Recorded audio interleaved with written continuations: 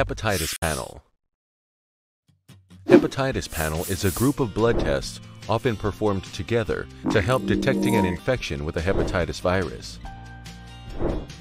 Some of the tests detect antibodies produced by the immune system in response to the infection, and one detects proteins, antigens, that indicate the presence of the virus.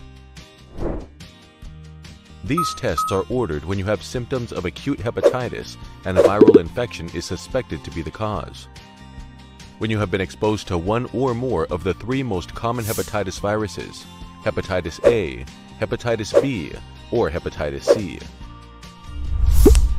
The sample required is a blood sample drawn from a vein in your arm. Hepatitis A virus is highly contagious and is usually contracted by ingesting food or water contaminated with the virus, or by coming in contact with an infected person. While hepatitis A infections are usually mild and does not cause a chronic infection, the virus can, on rare occasions, cause a severe acute disease. Hepatitis B virus is the most common cause of acute viral hepatitis. It is spread through contact with blood or other body fluids from an infected person.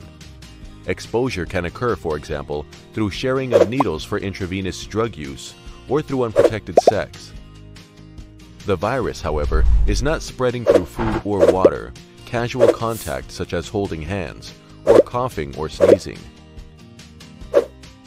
Hepatitis C virus is also spread by exposure to contaminated blood, primarily through the sharing of needles by intravenous drug users but also by sharing personal items contaminated by blood, such as razors, through sex with an infected person, via healthcare occupational exposure, and from mother to baby during childbirth. Currently, there are vaccines available against hepatitis A and B, while there is no vaccine to prevent infection with hepatitis C. The tests that are typically included in a hepatitis panel may not always be able to tell whether someone has had a previous hepatitis infection or has developed antibodies in response to a vaccine.